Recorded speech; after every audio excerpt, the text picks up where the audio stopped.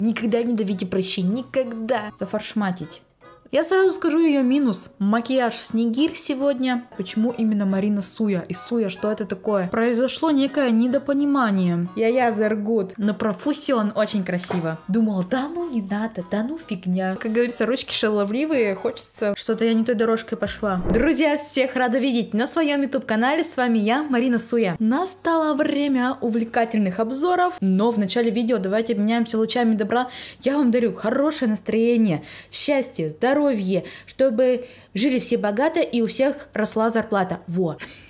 А чтобы я почувствовала ваши лучи добра, поставьте лайк под этим видео и напишите любой комментарий. Погнали! И это получается вторая продолжительная часть выпуска вашей любимой рубрики «Магазин на диване», как мы ходили в Питере в улыбку радуги. Кто не смотрел этот выпуск, обязательно посмотрите, ссылку я оставлю ниже под видео в описании. Итак, в этом выпуске вы узнаете, такие криминальные новости, вы узнаете мое мнение по поводу новой линейки от Эвелин, Теа-3, Т. Чай начинается. Я-я Зергут. А, чайное дерево. О. Сегодня в обзоре новый тональный крем от Эвелин и также консилер-корректор. Это не единственный консилер, потому что нас обнесло. И я еще решила протестировать консилер мировой просто.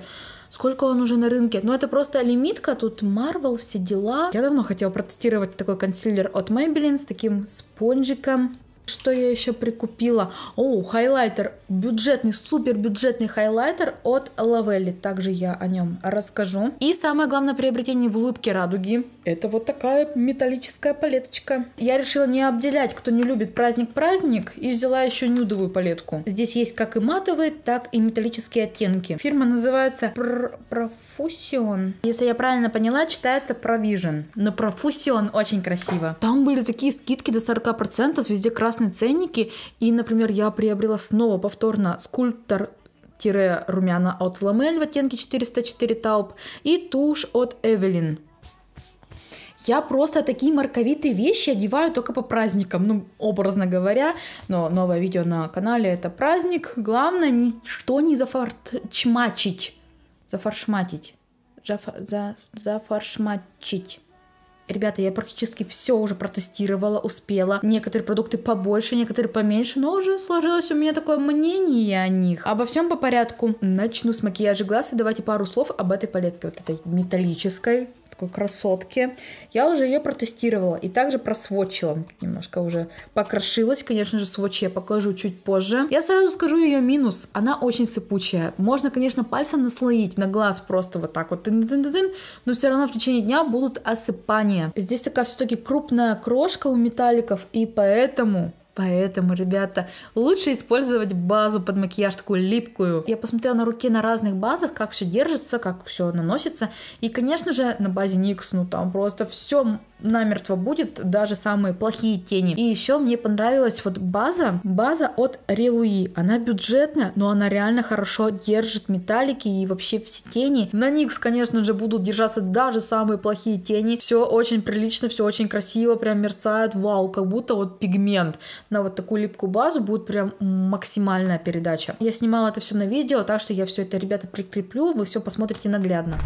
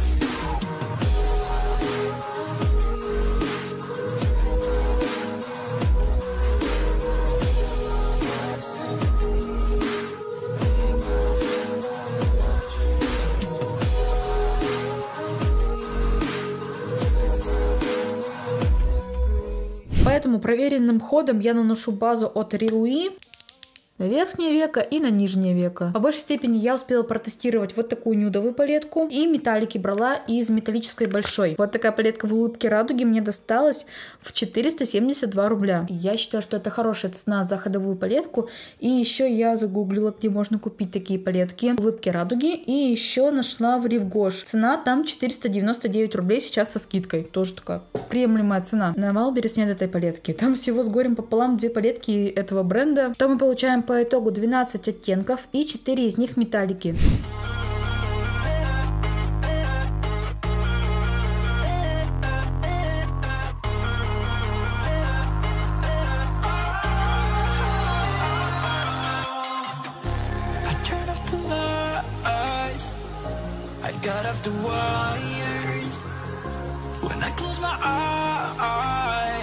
Disconnected and tired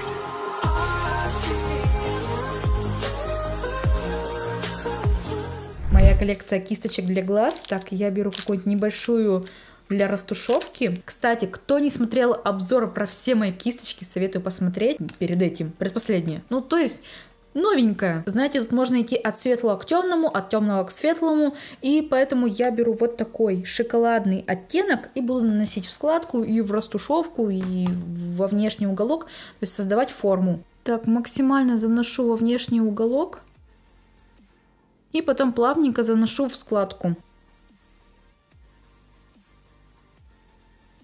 База, кстати, она все уже схватилась. Произошло некое недопонимание. Секундочку. Так как ранее я тестировала вот эту палетку на консилере и сейчас могу сравнить на вот этой базе от Релуи, на релуи матовые пятнят, ну то есть залипают. На консилере они мягко тушевались. Что-то я не той дорожкой пошла. Блин, не советую для матовых, потому что я ее ранее тестировала. И я вот тоже вот это почувствовала, какое-то залипание матовых оттенков.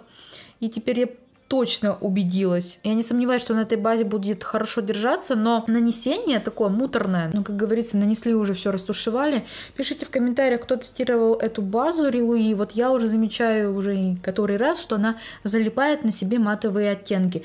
Но посмотрим, как будут металлики на ней смотреться. Ну, на руке все было так хорошо. Далее пушистой кисточкой я наношу посветлее оттенок, чтобы смягчить границу вот этого темного. Давайте вот такой И вот мне что-то подсказывает, что вот эта база, она уже вся высохла, все, и, наверное, металлики сейчас крепиться не будут. Но потому что на руку я когда вот эту базу нанесла, и сразу же потом я нанесла металлики, и все было ок. А сейчас ну, давайте проверим. А какие у нас переходы-то будут? Блин, тут столько оттенков. Какой же взять за акцент? Из этой палетки я брала вот такой зеленый и вот такой светлый. Светлый он более такой мелкий что ли. То есть вот тут вот крупные хлопья надо на липкую базу. Вот этот можно еще плоской кистью как-то наслоить, но все равно будут осыпушки. Синий, не синий, розовый, красный. Ну точно не золотой. Это все понятно, ясно. Давайте я начну вот с такого. Наношу этот оттенок во внутренний уголок, серединку я оставляю и во внешний еще немножко продлеваю. Посмотрим, как сейчас работает база. Ну что хочется сказать, оттенок нужно наслаивать, чтобы не было пробелов. А если пальцем? О, но готовьтесь к тому, что будут осыпания. На второй глаз я также делаю наслоение пальцем. И чтобы оттенок плавно поднять в складку, я уже кисточкой помогаю. Макияж Снегирь сегодня, но это не точно. Далее этот оттенок я немножко добавляю к внешнему уголку, ну чтобы был такой переход. То есть центр я не трогаю. А я еще вот эти тени тестировала, когда на мне был тон, консилер, весь макияж лица. Кстати, этот макияж глаз вы можете посмотреть в предыдущем ролике, где я тестировала кисти. Как раз и там я брала зеленые, вот эти все оттенки. Поэтому я надеюсь, жизнь меня немножко учит, и сейчас я начала с макияжа глаз. На пальце это выглядит вот так вот. Смотрите. Ну, прям как пигмент. Какой я хочу в центр бахнуть. Я хочу взять вот этот розовый. Этой же плоской кистью наношу в центр. Да, кистью тут как-то так.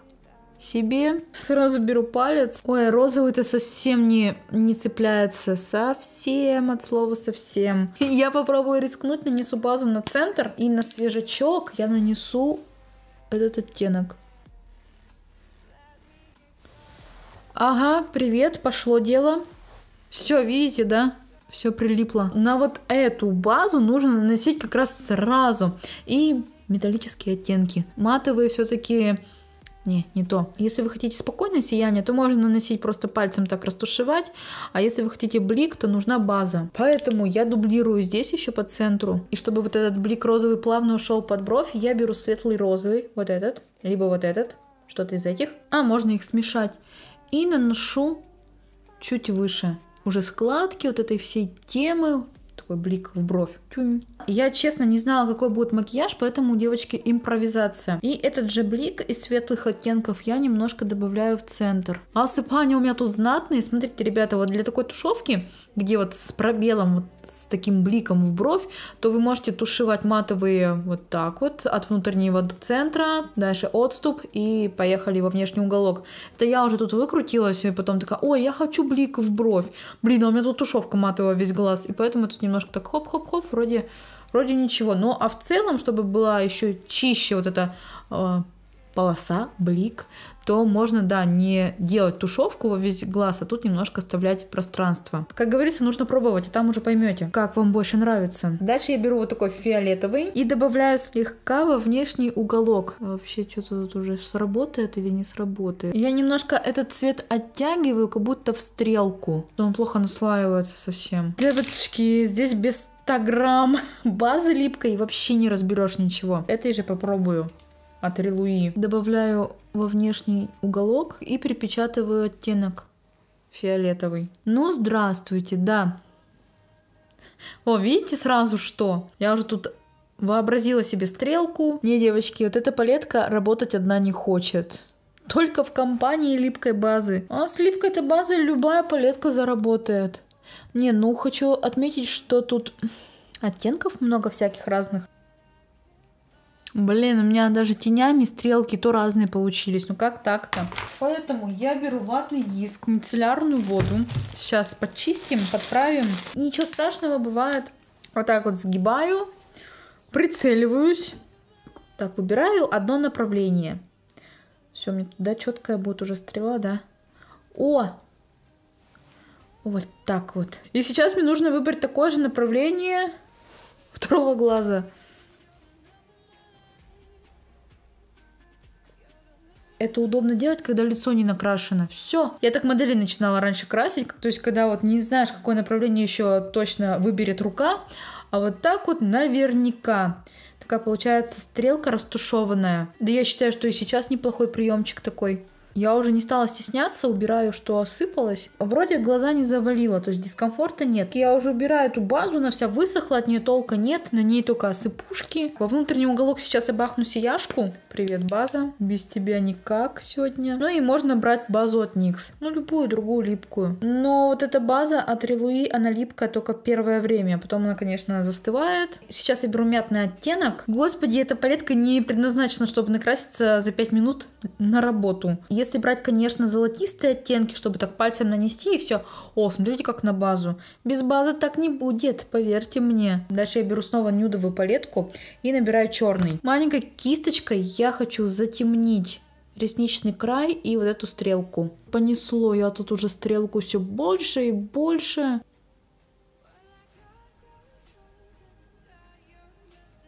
По итогу, ребята, фиолетовый нафиг отсюда пошел, потому что черный его просто так подвинься. И я еще подводкой от Maybelline, вот такой, Тут, кстати, кисточка, как кисточка в форме кисточки. И я еще прокрасила вот тут вот ресничный контур. Это, получается, было и стало. Ребята, тут можно хоть как плясать в зависимости от вашей фантазии. Это вот черный или фиолетовый осыпался? Вот тут вот фиолетовый. Я черный наношу, а фиолетовый просто уже сам уходит отсюда. Понимает, что он здесь лишний. Вот это осыпался. На нижнее веко в дальнейшем я нанесу уже консилер от Maybelline. Я уже его тестировала. Я вот этим спонжем не распределяю вот так этот консилер, потому что перебор будет. Поэтому я либо пальцем, либо кистью. Этот консилер, девочки, мне очень понравился с первого применения. Я такая, сокровище мое, я так долго тебя стороной обходила, думала, да ну не надо, да ну фигня. Чтобы стрелку растушеванную тут тоже почистить, либо консилером, либо ватной палочкой. Так, я беру маленькую какую-нибудь плоскую кисть И консилером почищаю границу. В дальнейшем я беру какой-нибудь светлый матовый оттенок, может быть, вот эти два смешаю. То есть нижнее веко у меня будет таким нейтральным, наверное, но это не точно, куда меня еще понесет. Просто затемняю слегка нижнее веко матовыми оттенками светлыми. Вот на консилере матовые оттенки тушуются очень хорошо. На базе вот этой Релуи залипала. Я считаю, что нужно вовремя бывает остановиться. Сводчи я вам, конечно же, все покажу и выскажу свое мнение кому нужна вот эта палетка. Сейчас что мне нужно сделать? Что за акцент? Марина. Кстати, для тех, кто новенький, вдруг кто не знает, почему именно Марина Суя. И Суя, что это такое? Что она означает? Это моя настоящая фамилия. Да, девичья. Просто Марина Суя. Латвия, Эстония, оттуда мои корни и моя фамилия. Как год моя фамилия Пестова, но Суя закрепилась именно тогда, когда я работала визажистом и начала я вести YouTube тоже как Марина Суя. И поэтому это осталось как и псевдоним ним, и также моя девичья фамилия, и как-то, ну, мне нравится Марина Суя. Поэтому корни меня зовут на родину, Латвия, Эстония, я очень хочу, да я вообще хочу везде побывать. Эх, гелевым черным карандашом от NYX я прокрашиваю пробелы ресничного края вверху. Далее я прокрашиваю обильные ресницы тушью Эвелин. Называется она Варите. Варите. Про нюдовую палетку я сказала по стоимости. Металлическая 752 рубля. Ну, конечно, я посмотрела стоимость ее, и там цена там 1000, 1200. А, кстати, есть она вроде на Ривгош. Так, в Ривгош она стоит 1300. Ну, получается в два раза больше чуть ли. И то это по золотой карте. Без золотой 1400. Я думаю, что если загуглить, можно найти эту палетку. Но вопрос, нужна ли она вам? Давайте я чуть попозже скажу. Ребята, я люблю делать работу за вас, поэтому я постараюсь найти все ссылки и прикрепить под видео. Тушь Eveline мне обошлась в улыбке радуги. 179 рублей. Это, конечно, очень выгодно, но еще выгодно такую тушь покупать в Магнит Косметик. На Wildberries стоит 288, в Золотом Яблоке 260 50, ну, ориентировочно вот. Посвежее тушь я не буду вскрывать, я еще вот эту не использовала. Она еще у меня в ходу. Глаза готовы, переходим к макияжу лица. Если вы еще не заметили, меня обсыпало. Это на призыв к действию, потому что у меня на обзоре тональный крем от Evelyn и также консилер, точнее корректор от Evelyn новой коллекции. Матирующий антибактериальный тональный крем Botanic Expert 3 Придает коже сатиново-матовый финиш и гарантирует идеальный вид. Девочки, ну кто себя вот узнает? Вот бывает так обсыпает иногда, редко, но метко. И вот, ой, руки так чешутся.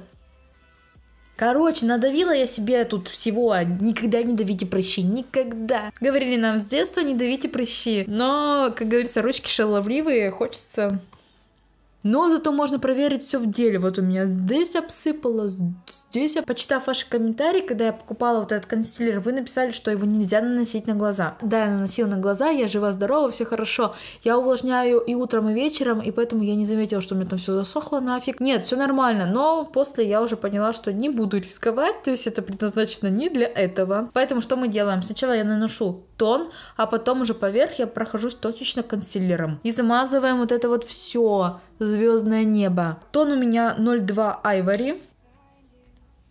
Спасибо, Эвелин. От душки вы положили поменьше. Обычно, знаете, там пахнет одеколон мужской такой, привет. Но здесь ну, чем-то лечебным попахивает. Попахивает. Так, спонжик. Мне проще его спонжем наносить. Конкретной базы у меня под макияж не было, просто уход. И если пальцем наносить, в принципе, он распределяется нормально. Вот, все он. Тон, как видите, не перекроет все несовершенства, но зато его можно наносить на каждый день, то есть нет эффекта маски, он красиво лежит на лице. Тон пока усаживается, давайте пройдемся консилером. Оттенок у меня 005, вот он такой светлый. Я набрала на руку и сейчас точечно я пройдусь. Ну что я вам хочу сказать, корректор-то неплохой. Ребята, оцениваем. Сейчас точечно прошла корректором. В принципе, нормально. То есть были как раз вот высыпания. На каждый день себя штукатурить, если есть высыпание. Ну а смысл? Мне кажется, так еще будут виднее прыщи и все недостатки. Немножко еще пройдусь консилером.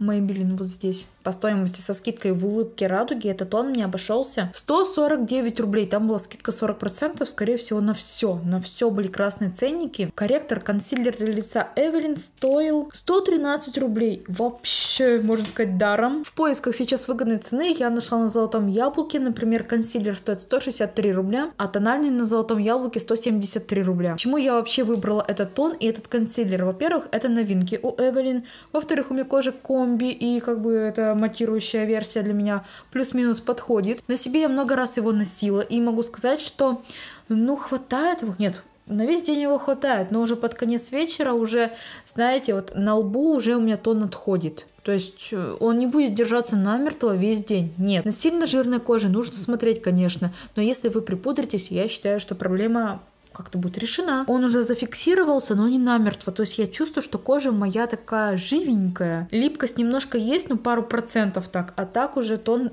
уже все зафиксировался. Поэтому я чуть-чуть припудрюсь. У меня есть пудра от Эвелин и также, вот смотрите, персиковая. Это банановая, это персик. Банановая у меня раньше появилась, потом персик. Я возьму персик. Так, припудрю зону под глазами. Да, везде я пройдусь слегка пудрой. В улыбке радуги я не купила пудру, потому что ничего такого особенного я там не увидела. То есть я там много что тестировала уже из ассортимента. Там мало было новинок, в основном такие позиции, которые уже давно на рынке. По поводу консилера Maybelline он мне обошелся 294 рубля. Загуглив цены, я поняла, что я очень выгодно купила, потому что стоимость где-то ориентировочно 300-500 рублей. Оттенок 03, он идет как раз таким теплым подтоном, чтобы перекрыть синяки. Для контуринга я беру румяна от Lamel 404 Taupe. То есть я новенькие пока не буду открывать. То есть у меня вот есть еще продукт. Очень я выгодно купила их, кстати. 119 рублей со скидкой. На золотом яблоке стоимость 189 рублей. Насчет вот этих румян от Ламель в оттенке 404 Тауп вы уже слышали много раз от меня. Да, это классная находка. Это как и румяна, бронзер и еще скульптор. То есть все, вот смотрите, как вроде как преображается лицо и все. Три в одном. Чтобы добавить невинной свежести, конечно, нужно взять розовые румяна. Но вот можно и так обойтись. Дальше я перехожу к продукту, который меня порадовал в магазине на сводче. Там были тестеры. И также меня порадовал в деле. Это хайлайтер от Lovely. Вообще простая упаковка. Ну вот, смотрите обычная, но на деле это реально классный хайлайтер.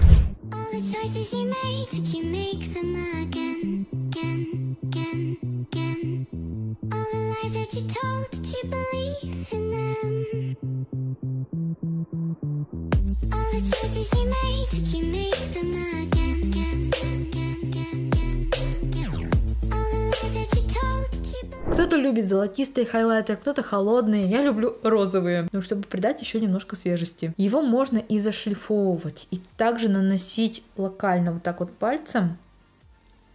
Я люблю еще спонжем вот так проходиться, чтобы сияние было изнутри как будто. Так, ну и этот хайлайтер можно абсолютно хоть чем наносить. Зашлифовывается он вообще на ура. Из бюджетного сегмента это реально классный хайлайтер. Хайлайтер со скидкой 125 рублей. Это оттенок 03. Я стала гуглить, где его можно еще приобрести. Понятно, в улыбке радуги. Нашла на Wildberries, цена 216 рублей. И также на сайте Белорис цена 192 рубля. Для бровей неизменно я беру карандаш от Vivienne Sabo, но в улыбке радуги я что-то для себя новое не могла найти. Либо там оттенка не было, либо я это тестировала. Оттенок у меня 0,3. Я иду маленькими штришками, то есть тут подкрашу, там подкрашу, чтобы не просто нарисовать бровь, а чтобы это было более-менее натурально. Смотрите, у меня тут такой хвост просто. В дальнейшем я укладываю прозрачным гелем Art Visage любым прозрачным. Ребята, остались губы, давайте я сделаю их, как в предыдущем ролике, потому что вы спрашивали, что у меня на губах. И я там использовала какой-то карандаш, вроде Best Friends Forever Beauty Bomb в оттенке 02. Это такой холодный классический нюдовый карандаш. Я им рисовала контур. А в принципе можно оставить и так. Из похожих холодных оттенков есть еще от Ламель седьмой оттенок. В предыдущем ролике был такой акцент на сочные губы, и я добавляла еще ухаживающее масло для губ, но это такое себе ухаживающее масло, потому что это цветной блеск, реально. Мне чем понравился этот блеск, он карамельного такого оттенка, и блеск сам по себе плотный, он не растекается по губам.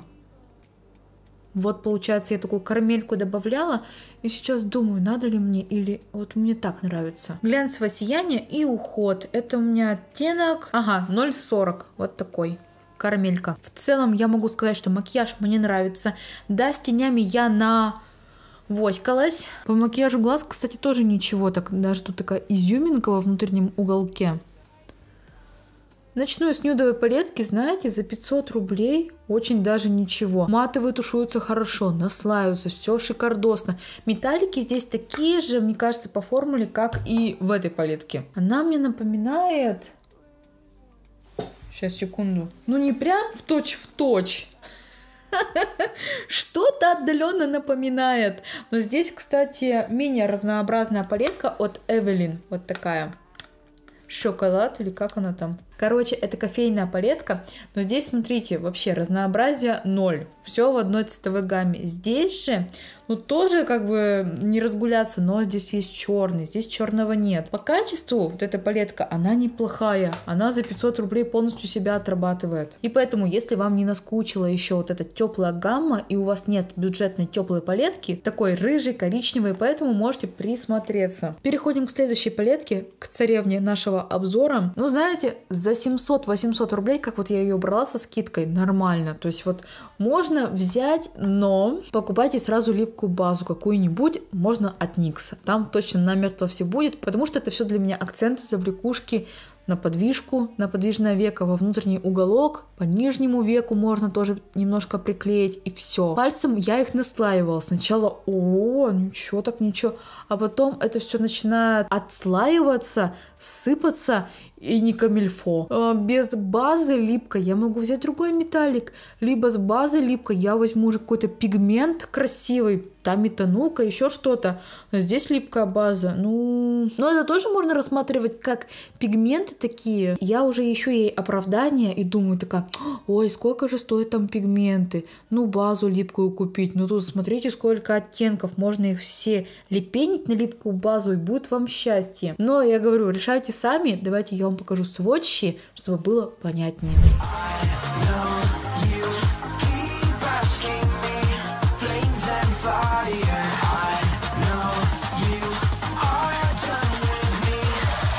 Just fired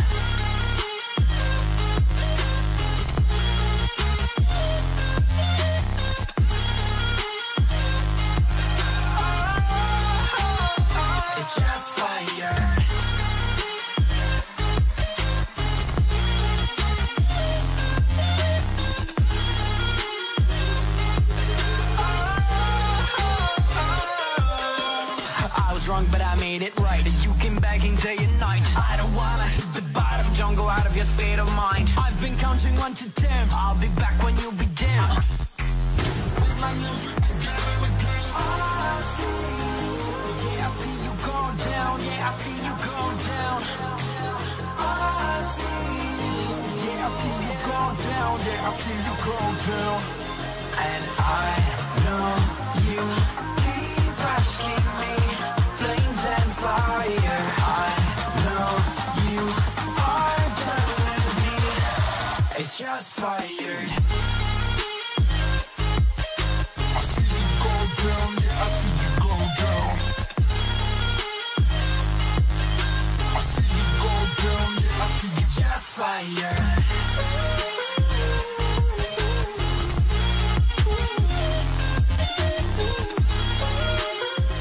Я-то что думала, когда я ее брала? Что это металлики такие обычные, что пальцем нанесли.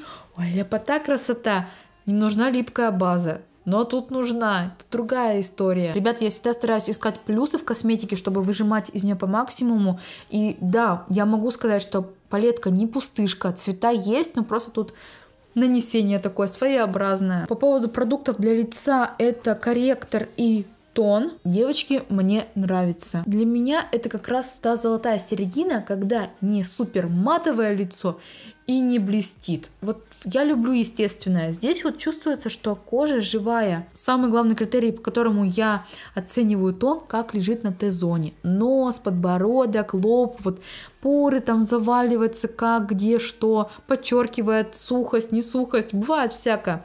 Здесь же все хорошо, прям нос такой гладенький. Насчет вот этого корректора, он имеет место быть, потому что тон полностью не справляется со всеми недостатками, высыпаниями. Да, я тоже говорю, да, бюджетная стоимость, да, некоторые высыпания видны, но я не люблю, например, штукатуриться, вот чтобы прям полностью. Если, конечно, это не требует случая, то есть на повседневку мне нормально так. Чуть не забыла, консилер от Maybelline. Мне понравился, он мягкий. Я когда нанесла, думала, ну все, подчеркнет все, но нет. Для меня, скажу, хорошее перекрытие на каждый день. Если наносить много, то может забиться в складки. Мне хватает совсем чуть-чуть, то есть у него такая пигментация неплохая, мягкий сам по себе, то есть да, одобряю. А, точно, хайлайтер. Вот тут уже мои комментарии излишние, потому что вы слышали, что он мне понравился и так. Поэтому за такую бюджетную стоимость берите, я думаю, что не пожалеете. Но, конечно, мои мнения и мои впечатления, мой опыт может с вашим не совпадать, и это нормально. Получается, я была в улыбке радуги первый раз, это в Питере, и могу сравнить его с Магнит Косметик. Ну, что-то вот пересекается. Конечно, в Магнит Косметик нет каких-то брендов, которые есть в улыбке радуги, и наоборот тоже может быть. Я считаю, что такой нормальный магазин, где можно купить самые топовые такие позиции из декоративной косметики. Жалко, что в нашем Кирове нет такого магазина. Ребята, напишите в комментариях, какие позиции из декоративной косметики, которые были у меня сегодня на обзоре, вам понравились. И если в вашем городе есть улыбка радуги, то пишите в комментариях, что вы покупаете там. Ну, понятно, там, наверное, что-то такое хозяйственное, там порошок, еще что-то, ну, как магнит косметик, но именно из декоративной косметики, что покупаете. Кто досмотрел это видео до конца, ставьте лайк, я вас от души благодарю, и спасибо большое за ваше внимание, что это время вы провели со мной. Надеюсь, что это видео видео было для вас развлекательным и полезным. Я с вами прощаюсь, но ненадолго. Всех люблю. Всем пока-пока.